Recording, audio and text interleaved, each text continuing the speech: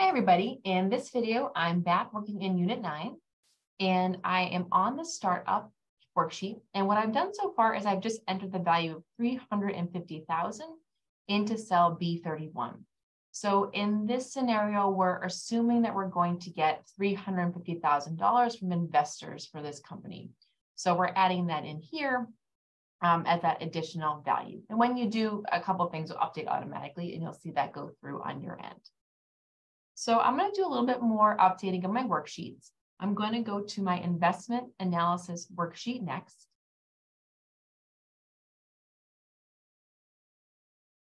All right, and then we're going to start filling in some of the information here. So in cell B6, which is right up top, I'm actually going to use um, my other worksheet as the lead there. So I'm going to hit equal sign. I am going to put a negative there, and I'll explain that in one minute. And we're going to go back to that startup sheet. And we're going to click that cell B31 uh, there. And then we're going to use that value here um, in our um, investment analysis worksheet. So we're just linking that in here. That way, if I change it in the other worksheet, it updates here automatically and I don't have to keep changing it over and over again. Now, the reason why I have it as a negative in this particular worksheet is because we are planning to repay our investors. So we're kind of thinking of this like a loan. So even though it starts as money coming in for our company, we do have to actually pay that back, right? Is, is the goal here. Um, because our investors want to make money, right? They want to make their money back and then some. So at the bare minimum, we do need to repay this money to our investors and then also offer them more than that. So an incentive that why they would invest in our company, hopefully because they're going to make a lot of money, right? So it's negative here. This is something that we would owe our investors back um, theoretically here. In cell B7, for yearly payments, we're going to do these at 80,000.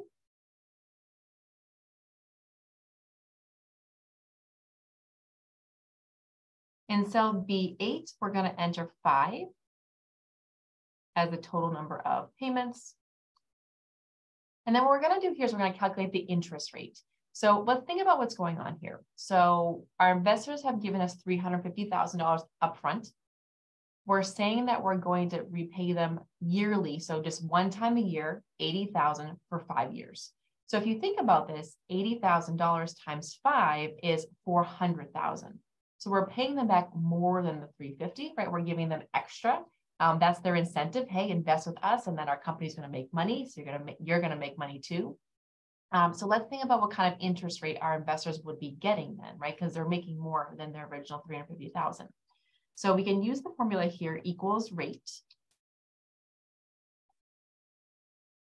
And then we're going to go ahead and click um, cell B8 for the number of payments comma, we're going to click cell B7 for 80,000 per year, comma, and then we're going to click cell B6 because that is the starting present value. Um, and again, the other values, remember, in brackets are optional if you want or need to enter them.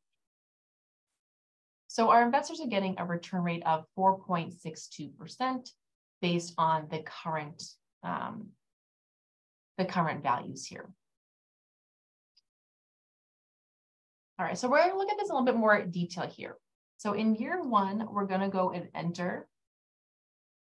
Um, I'm gonna enter the formula B7 again. Um, I am gonna add dollar signs in here though to fix this.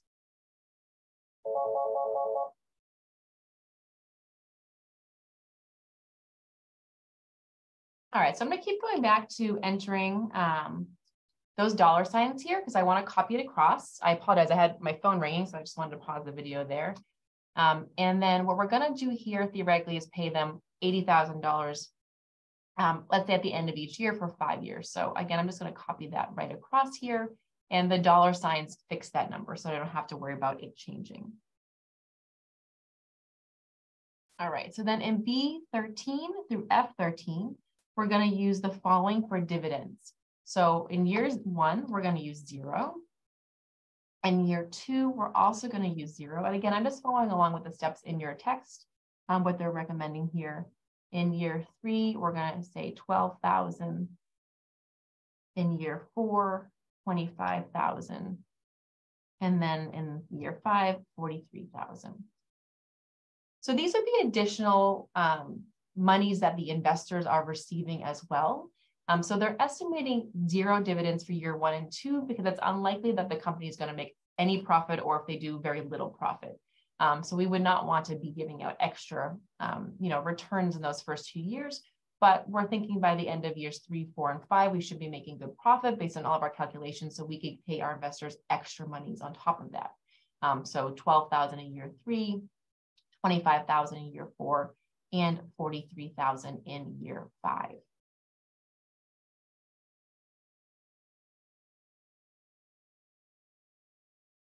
All right, I'm going to go ahead and just sum this up. I can use the auto sum feature here um, just by highlighting that and going across and it just sums going down or you can sum them individually as well. That's fine. So we're just going to sum up our totals here. So you can see in year one and two, we're still just paying 80,000, but in year three, we're looking at 92,000, 105,000 in year four and 123,000 in year five. All right, so next let's go through some of these payments um, in more detail here. So in cell B18, I'm going to enter the formula um, for B6. So I'm just going to kind of bring this value right down there, right? Because that's what we're starting with, right? We borrowed 350,000, so to say.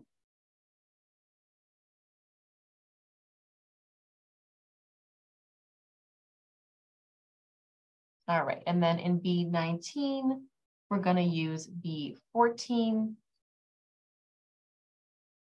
in B20, we're going to use C14. In B21, we're going to use, let's see, D14, B22, E14, and then finally for year five, we'll use that 123,000.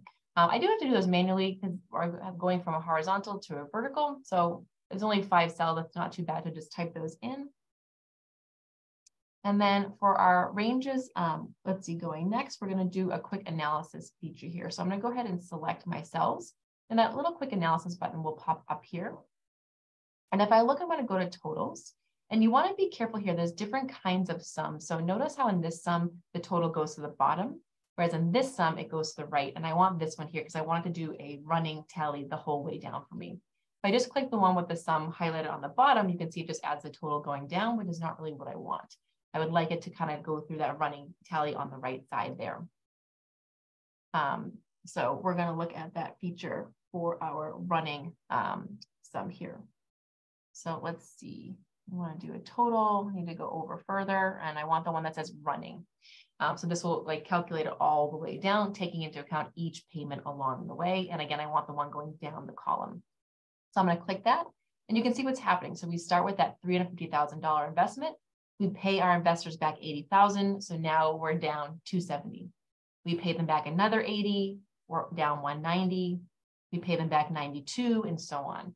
So, um, you know, at the end of year three, we're still paying back that 350,000. But by the end of year four, we've paid it back plus an extra 7,000 on top.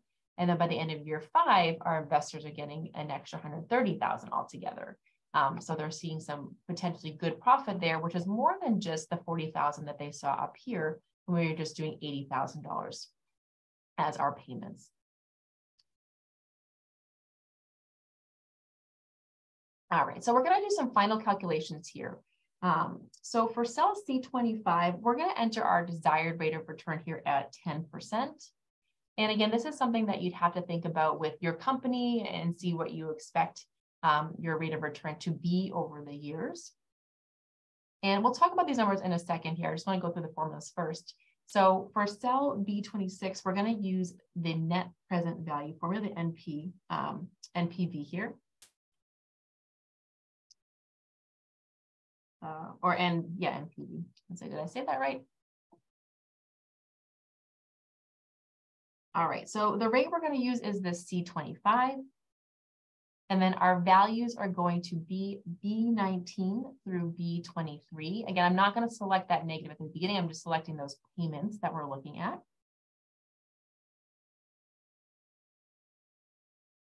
Now, even though this says net present value, it doesn't really quite work that same way. We're actually going to subtract as well here. Or I guess we're going to add because we have a negative. So we're going to take that B18, our initial debt and we're going to add it with our C26. And this gives you that difference there. So you can see that you have $6,054. And then our last calculation here um, for C28 is going to be uh, looking at the internal rate of return. So before we get there, you can kind of play around a little bit with that um, desired rate of return and see what happens as you try 12% or as you try um, 8% and so on and how those values change. So it's important to have a, um, a reliable or as accurate estimate as you can. Um, so what's going on here and what we're kind of starting to look at is the time value of money. So when we think about money, you know, you probably think of it pretty straightforward, but there's actually a time element to it. So a perfect example of this, um, or just think of it as a base level. So let's say someone gave you $100 um, today, right? Well, with that $100, obviously you could spend it, but you could invest it. So if you happen to invest it in an account that earns, let's say 5% um, annually, then next year you actually have $105. So with that year of time, it's grown by $5. So if someone said to you, hey, I have $100, do you want it today or do you want it in a year? Well, that actually makes a difference because if you have it today, you actually could have $105 in a year rather than just 100. Um, so a lot of it depends on what we expect our rate of return to be over that, that time period here. Um, so it does depend. Um, inflation is another big thing too, where money today may not be worth as much as money given later um, because of inflation, right? So if inflation is going up 6% and you have that $100 given today versus given in a year, it actually has different values because the amount that things cost have changed. Um, so you have less buying power with that $100 a year from now than you did previously, as an example. Um, so there is a time element here to money as well that has to be taken into account, uh, which can get a little bit um, a little bit tricky here. So what we're seeing as we go through um, these calculations basically um, is one, you know, you do want to give a desired or a approximate rate of return here. Um, typically, the rate of return is higher when there's more risk, lower when there's less risk um, in general. Um, so you can expect higher return rates typically with riskier accounts. Um, because this is a startup or a newer company, this would be pretty risky to invest in. You don't know that it's going to have a good profit. Um, so we would be looking to, again, give our investors um, a good reason to invest with us, that they would get a high rate of return for, for their investment. Um, obviously, hoping that we make it through um, as well. And what this other value does here, this net present value, is it's a way for different investors to compare um, different investment options or opportunities. So for instance, this $6,054 um, basically what it says is that the $350,000 investment in the company is worth $6,054 more than placing the same amount in a different investment that pays 10%. Um, so basically the higher net present value, the sort of better investment opportunity that is. Now, it gets a little bit tricky. That's not always 100% the case, but in general, that's sort of how it works. So if an investor has lots of different options, um, net present value is one way they can compare those um, and look for a higher net present value to show that that's worth more um, of their, their money. Another good thing to look at here is what's called the internal rate of return. So that's the next thing that we're going to calculate. Um, and basically, it's the return rate when the net present value is zero. Um, so if this was zero, it basically gives that rate there.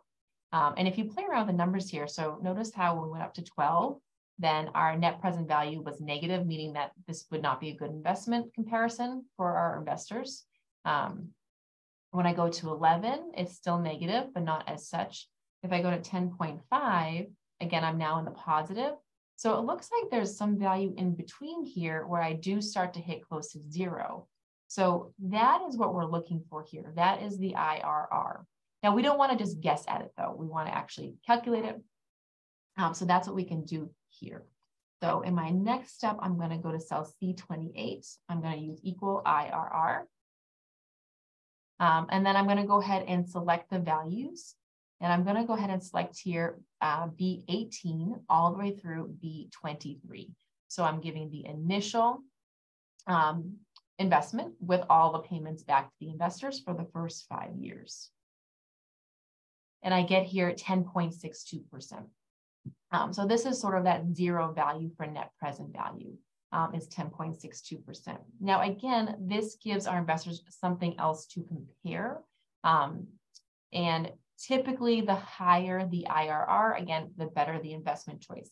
So if I was an investor and I see that, hey, this company has a higher net present value and a higher IRR, I may be more likely to invest in it than another option. Um, it's not 100% given though. So sometimes there could be more than one IRR depending on um, how complicated the payments can get. If there's a lot of negative and positive back and forth, it can get a little bit trickier. Um, so again, these are just two things that investors can look at um, to compare investments here, but um, you need to go a little bit deeper as well. Um, another thing that you could do too is kind of graph um, for different options. So you can, um, instead of the net present value, you know, we could kind of create a, a graph instead. So graph the net present value for each investment against different possible rates of return. And that can give you a, a broader picture as an investor. Now, finally, in this video, um, the last thing I want to mention is there are two other functions. Um, so there is a function, it would be equal sign, and it's XNPV um, and another one XIRR, which basically do the same thing that we have been doing for NPV and IRR, but they allow for payments that do not come at equal intervals. Um, so if you look in your text, they do have an example there um, where the payments, instead of being every year at the same time, they come more sporadically. And these two functions can be used instead um, with those types of investments. Um, so again, as always, um, it does help to kind of go through the text. There's a lot of good background information here. Um, so I do recommend um, looking at that as well. So the last thing I'm going to do here is I'm going to go to my income statement. And I'm going to just kind of finish this up. And cell B33, I'm going to bring in these dividends here. So I'm going to type in an equal sign. I'm going to go to my investment analysis um, worksheet, and I'm going to go ahead and click cell B13, where my first dividend was. Hit enter. I'm going to go ahead and copy those over. And again, you just want to double check that everything copied correct, correctly. If I compare it, I can see that it did. And then I'm going to go to cell B35 here and enter the following formula. So I'm going to do cell um, B31, and then I'm going to subtract cell B33 and again, I'm going to go ahead and just copy this formula over, make sure that it's actually copying the right way here. So C31 minus C33 and so on. So finally, we have sort of our, our final kind of profit projection here. Um, once we have our, our taxes and everything, and then we pay out our shareholders um, their dividends, we're down 70, almost 75,000. And then next year, we start to see a little bit profit. And then finally, in the later years, we finally do start to see some potential profit here. Um, so we do have quite a lot of information here we're taking into account. And again, this is probably more of a basic example too. There's probably more going on here. Um, but again, we want to really consider our different costs along the way, consider any sort of expenses that we can think of as well. Um, take into account things like depreciation, um, you know, other kinds of costs, interest costs from our loans, um, taxes as well, dividends or other payments to shareholders, um, et cetera. So there's quite a lot to take in here um, to just kind of consider what our potential income would be.